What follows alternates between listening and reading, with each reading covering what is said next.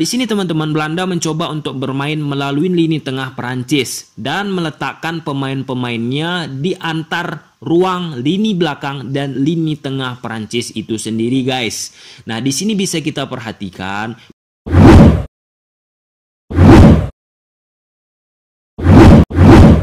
Keigat ulang coba-coba. Nah, teman-teman, kali ini kita bakal membahas part kedua. Part pertama udah sempat kita bahas taktikal analisis dari Ronald Koeman dengan pola 3142. Sekarang kita bakal membahas pola 4231 karena diberitakan di berbagai media, guys, Ronald Koeman tertarik dengan pola Bayern Munich yaitu 4231. Sebenarnya 4231 nggak asing bagi Ronald Koeman. Ronald Koeman pernah menggunakan pola 4231 ketika bersama Southampton Kemudian baru-baru ini bersama timnas Belanda. Jadi udah nggak asing banget bagi Ronald Koeman menggunakan pola 4-2-3-1. Oke guys, tanpa berlama-lama lagi kita langsung menuju ke grafis yang sudah aku sediakan. Di sini guys, aku mengambil starting eleven ketika timnas Belanda menghadapi timnas Prancis. Pada pertandingan ini, timnas Belanda asuhan Ronald Koeman menang dengan skor 2-0. Oke, nah, di sini guys, Ronald Koeman menggunakan pola 4-2-3-1 di belakang ada Chelsea kemudian Dumfries, De Ligt, Van Dijk, Bielain kemudian ada dua gelandang teman-teman De Jong, De Roon. Kemudian ada tiga gelandang yang mensupport Ryan Babel sebagai striker uh, sentral. Ada Depay, Wijnaldum dan Bergwijn. Sampai situ clear guys ya 4-2-3-1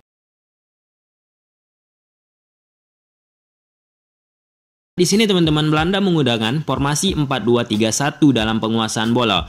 Dengan Devay Wijnaldum dan Ryan Babel serta Stefan Bergwijn berdiri tanpa ada pressure yang begitu kencang. Yang artinya posisi Devay Wijnaldum Bergwijn mempunyai peran yang vital untuk membangun serangan yang muaranya serangan Belanda itu sendiri tetap dari kaki Derun ataupun De Jong. Sedangkan posisi Blind dan posisi Dumfries melakukan tusukan ke dalam. Nah, dalam arti permainan Blind ini dan Dumfries lebih bermain melebar, sedangkan Devay dan Bergwijn lebih bermain ke dalam dan compact merapat ke posisi Wijnaldum, teman-teman. Nah, sedangkan ketika mereka tanpa memegang bola, mereka bakal merubah bentuk formasi mereka, guys. Berubah menjadi formasi 4-4-2 yang di mana Derun dan De Jong posisi mereka masih di posisi yang sama. Di sini Bergwijn bakal mundur ke belakang, Devay bakal mundur ke belakang. 4-4. Kemudian di depan Bubble berdampingan dengan Wijnaldum Nah, seperti ini guys polanya. Kadang Bubble berada di sini, kadang Wijnaldum berada di sini. Gosipnya juga Wijnaldum bakalan pergi ke Barcelona, guys. Nah, itulah salah satu pertimbangan yang mungkin dimiliki oleh uh, Ronald Koeman. Kenapa Wijnaldum ini pemain yang mempunyai banyak tempat, nggak hanya di DMF gelandang bertahan, bisa CMF, bisa menjadi striker lobang juga di depan. Itulah keunggulan dari Wijnaldum itu sendiri, guys.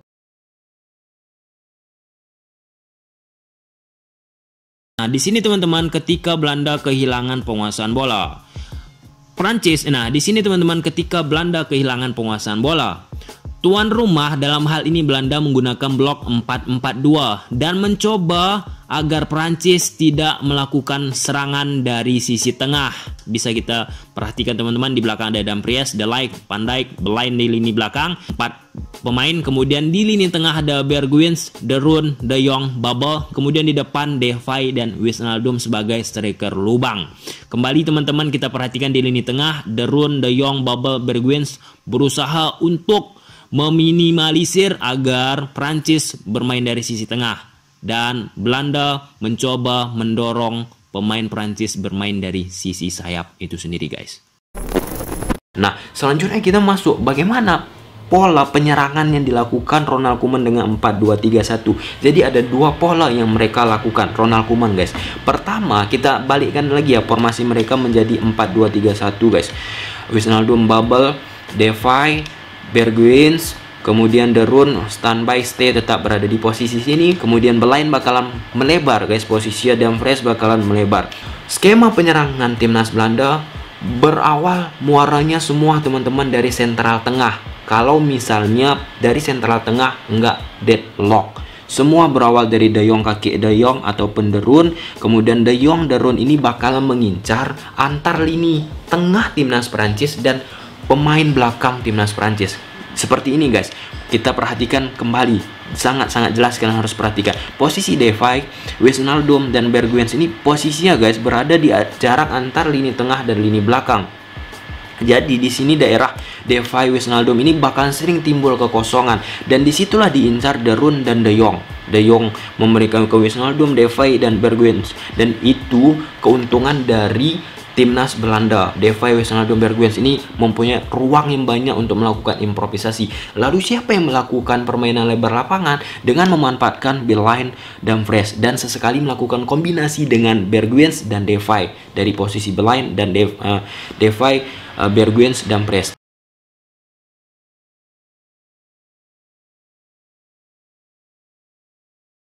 Di sini teman-teman Belanda mencoba untuk bermain melalui lini tengah Perancis dan meletakkan pemain-pemainnya di antar ruang lini belakang dan lini tengah Perancis itu sendiri guys.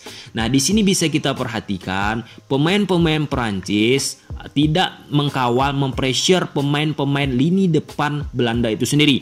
Sangat jelas di situ bisa kita lihat teman-teman bubble tanpa ada pressure, Wisnaldum tanpa ada pressure, Devay tanpa ada pressure dan Bergwijn tanpa ada pressure. Dan muara sentral penyerangan Belanda kalau tidak deadlock teman-teman muaranya dari lini tengah baik itu dari posisi yang aku sampaikan tadi De Jong De Run ataupun sebagai ball playing defender Van Dijk mampu membangun serangan ke posisi depan tetapi incaran mereka tetap teman-teman di jarak antar lini belakang ke lini tengah timnas Prancis itu sendiri di sini bisa kita perhatikan timnas Belanda sangat mudah dan tanpa ada pressure kepada pemain pemain mereka. Itu untuk skema pertama ya guys ya, ketika timnas Belanda asuhan Ronald Koeman melakukan serangan. Yang kedua memanfaatkan lebar lapangan. Nah, yaitu kita ambil contoh bola ini guys dipegang Damprias. Nah, seperti yang kita ketahui di pola serangan awal, Devay, Wijnaldum, Bergwijn berdiri di jarak antar lini tengah dan lini belakang. Nah, mau nggak mau posisi papat, para nih Kimpembe, Digne bakal tertarik ke posisi mereka. Bubble bakal turun ke belakang. Nah, seperti ini guys pola yang mereka lakukan. Jadi di sini lini belakang pertahanan Prancis tertarik ke posisi Devay, Wijnaldum, Bergwijn ataupun Bubble. Mau nggak mau garis pertahanan Prancis makin tinggi guys. Nah, oleh sebab itu timnas Belanda bermain dari sisi plank sisi sayap kiri, sisi sayap kanan untuk memanfaatkan pergerakan tanpa bola dari timnas Belanda itu sendiri. Contoh seperti ini, dan Pres memegang bola, kan di sini ruangnya lebar banget guys, e, garis belakang pertahanan timnas Prancis. Nah di sinilah diharapkan Ronald Koeman, pemain-pemain dari timnas Belanda masuk ke dalam, memanfaatkan posisi tersebut. Kita ambil contoh Wijnaldum, masuk ke posisi belakang, dan Pres bakal memberikan umpan daerah. Dan harus digejar oleh Wijnaldum. Ataupun nggak usah Wijnaldum. Kita ambil posisi Bergwijn. Lari kencang memanfaatkan umpan dari Damprias seperti itu guys. Pola diinginkan oleh Ronald Koeman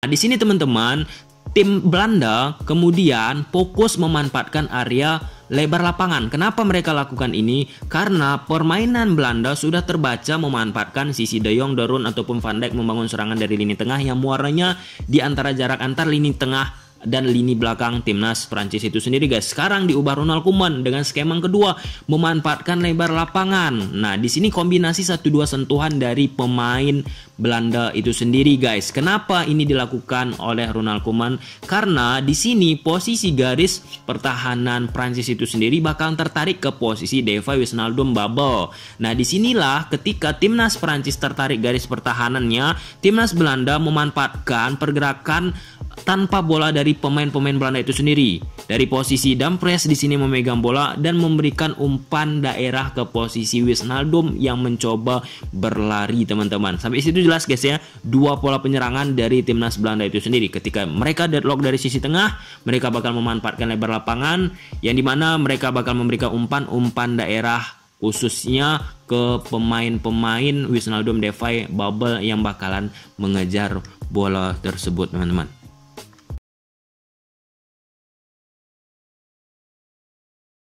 Nah, di sini teman-teman bisa kita lihat untuk Perancis sebagai tambahan wawasan ilmu pengetahuan, Perancis menggunakan formasi 4-3-3 dalam penguasaan bola. Di depan ada Anthony Griezmann, kemudian didampingi Mbappe, kemudian didukung striker sentral yaitu Oliver Giroud. Nah, kemudian ketika kehilangan penguasaan bola, Prancis menggunakan 4-5-1 dan dengan sangat mudah timnas Belanda menguasai bola sangat-sangat lama karena pemain Prancis hanya menunggu menunggu menunggu menunggu menunggu menunggu menunggu. Tetapi kalian perhatikan kembali guys, ketika Prancis kehilangan bola, di sini pemain Belanda berdiri di jarak antara lini tengah dan lini belakang timnas Prancis itu sendiri. Itu dieksploitasi oleh Ronald Koeman dan berhasil guys dengan skor ujung-ujungnya 2-0. Dan di sini masalahnya di timnas Prancis bermain menunggu.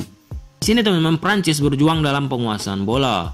Dan di sinilah cara Didier Deschamps untuk memecah lini pertahanan Belanda itu sendiri dengan memanfaatkan bola-bola direct yang diletakkan ke garis belakang pertahanan Belanda yang di sini papat bakal mengejar bola tersebut. Istilah sederhana guys, diajak lari guys, adu lari. Kenapa ini dilakukan? Karena posisi Belain, posisi Pandai, posisi Delike kesulitan ataupun bermasalah di sisi kecepatan. Di sini Papat mempunyai peluang untuk melakukan overlap dan memanfaatkan kecepatan. Dan ini salah satu cara Didier Deschamps langsung melakukan direct dari posisi Parani ke posisi Papat yang bola Parani ini bakal diletak ke posisi garis belakang pertahanan Belanda yang tujuannya Papat bakal mengejar dan berbuah create itu sendiri guys. Kesimpulan apa? 4-2-3-1 nggak asing bagi Ronald Koeman. Yang kedua, Ronald Koeman memanfaatkan serangan pertama mereka dari posisi De Jong, De Roon. Yang sasarannya apa? Depay, Wijnaldum, Bergwijn ataupun Babel itu sendiri. Yang mereka memanfaatkan sisi ruang kosong di jarak antar tengah, lini tengah Perancis ataupun lini belakang Perancis itu sendiri. Yang kedua, ketika mentok deadlock dari posisi tengah De Jong, De Roon tertutup, terkunci. Mereka memanfaatkan sisi lebar lapangan dari posisi belight ataupun dampres. Nah, ketika mereka memanfaatkan lebar lapangan, bek-bek dari timnas Prancis ini bakalan merapat juga ke depan guys. Tertariklah garis pertahanan timnas Prancis. Mereka rapat ke posisi Depay, Wijnaldum, Babel, dan Bergwijn.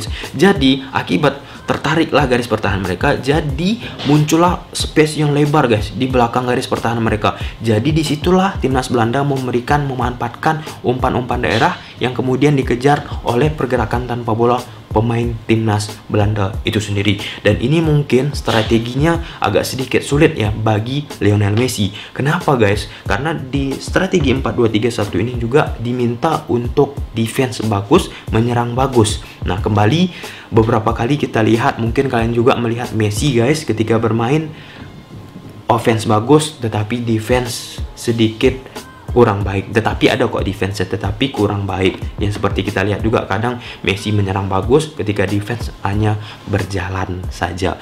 Oke guys sampai sini aja video. Kalau suka kan video ini udah tahu apa harus kalian lakukan. See you the next video. Bye